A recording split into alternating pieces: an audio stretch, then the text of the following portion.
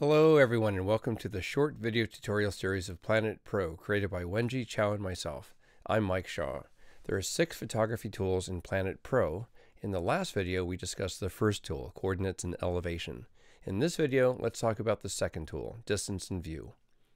If you tap the viewfinder button you can see the choices for the six tools. The first one, coordinates and elevation, has an icon of a single point. The second tool, distance and view, has two points. So what are these two points? Let's tap it to try to find out. The moment you choose the distance and view tool, the camera pin gets automatically set at the map center. This gives you a big hint that the camera location is one of the two points. Then, if you drag the map like this, you'll see a line being drawn between the camera pin and the map center. The values over here are changing as well, indicating the two points are changing. So if the camera pin is the first point, the map center must be the second point. But let's find out what will happen if we put down the scene pin. Tap the plus button and tap here to set the scene location. Now if you drag the map, the values don't change anymore. This means that both points are now set. So based on this observation, we know for sure that the camera location and the scene location are the two points for the distance and view tool if both are set.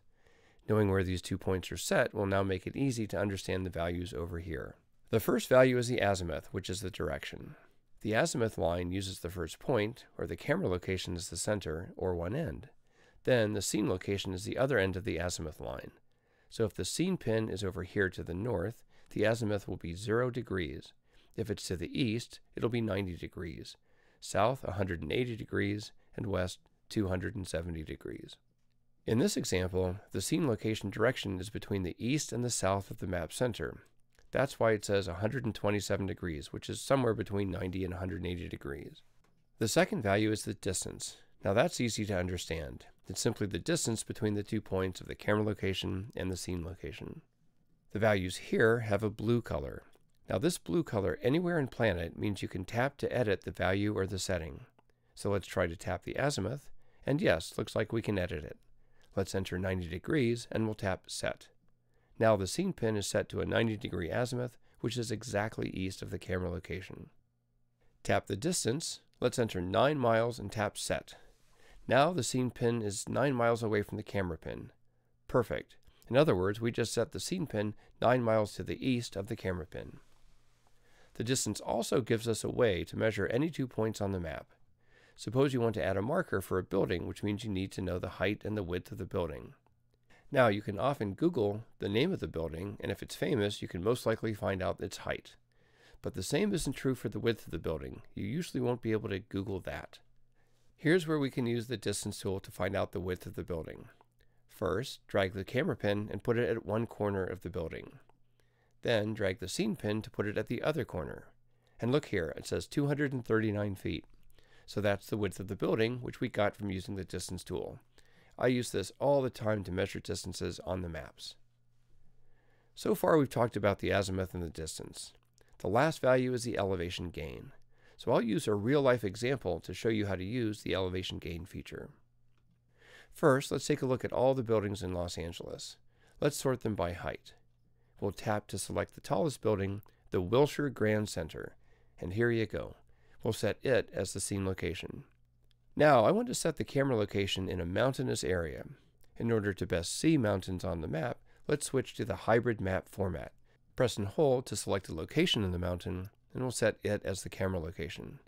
If you're not happy with this camera location, you can press and hold the camera pin and drag it to another location like this. Let's find out what the elevation gain is between these two points. We'll tap it, and here comes the result. You'll immediately notice that while the line between the two locations was a gray color before, now it's turned mostly green, but part of it is red or yellow. So what do these colors mean? If you tap the elevation gain value again, you'll find out. On the top, the graph shows an elevation profile between the camera location and the scene location. How great is that? So here's the scene, and here's the camera. You can tap to zoom in a little bit and you can see that the line of sight is blocked by the terrain right here. These blocked sections are marked by a red color. In other words, if your camera is at this location, you won't be able to see your subject, which in this case is the Wilshire Grand Center. So a green colored line means a clear view, while a red colored line means the view is blocked. And a yellow color, or whatever color you see between the red section and the green section, means the view is almost blocked. So now let's dive in and find out exactly where the terrain blocks the view. Here, each row indicates a location on the map between the two locations. Tap a row and you'll see a red dot on the graph to indicate where the location for that row is. Here, it looks like it's the third row that blocks the view.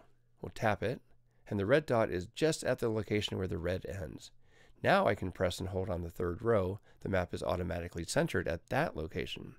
Then, if I set this new location as the camera location, tap to get the elevation gain, the line is now completely in green. So what does that mean? It means we have a clear view to the Wilshire Grand Center at this camera location. Is this great or what? You just found a camera location in the mountains that has a clear view to the Los Angeles downtown. Now you probably noticed that you have to manually tap each time you want to update the elevation gain, which isn't very convenient. The reason for this is that we have to retrieve the elevation data from the elevation data server, which takes time because it's a different server from the map one. This means we can't update the elevation automatically. Now there is a way to improve this situation. You can download the offline elevation data beforehand and that will speed things up considerably. Go to the menu, click the download button next to the offline elevation, wait until it finishes downloading, now if I press and hold the camera pin and drag it, you'll see the line is automatically updated with different colors. The elevation gain value over here is also updated automatically. You'll probably notice that dragging becomes slower than before. That's because we're constantly getting the elevation data and calculating whether the terrain blocks the view, which takes time. But what's nice about this approach is that you can now immediately tell if you can see the scene from the camera location. For example, right here, I can see the view is blocked. You can tap here to see the graph to confirm it is indeed blocked here. I can drag the camera location to another spot where the line is completely green, which means a clear view. Let's take a look at the VR viewfinder to confirm. Let's switch to 300 millimeters, and here you go. A clear view to the Los Angeles downtown. This is a very useful feature when you try to scout a location on the map. Finally, let's take a look at how the elevation gain is calculated. Here are two examples. The only difference is that the first one has the scene location on the top of a hill, while the second one has the scene location on top of a building. And this is how we calculate the elevation gain from the camera height to the scene location. This is the elevation gain. In the second case, we'll include the building and make its height part of the total elevation gain. So back to PlanIt, we'll tap here to see the graph. Here it actually shows a white bar, indicating the height above the terrain. The reason we have such a height is because we set the target height. Tap the scene pin and tap the height button. Here's the target height of 1099.93 feet. That's the height of the Wilshire Grand Center. If I zoom in, tap the marker, you can see the building height on the title bar, which is 1099.93 feet. The target height is automatically set to the building height when you set the scene pin on the building marker. Now, the reason the elevation gain is 525 feet is not because the elevation at the scene location is higher than the elevation at the camera location. We can see that the elevation at the camera location is 781 feet, whereas the elevation at the scene location is only 232 feet, so the scene is actually lower in elevation. However, we added a 1,099.93 foot tall building on top of the 232 foot scene height and then calculate the net elevation gain, which is 525 feet. So, the 525 feet net elevation gain is from the camera elevation to the top of the Wilshire Grand Center. For the best accuracy, we also need to include the camera height when we calculate the elevation gain. You can find out how to set the camera height from the camera height video tutorial. To illustrate, Let's now add a marker. We'll set it to the camera location category, and we'll set the camera height to 500 feet, the area diameter to 20 feet, done.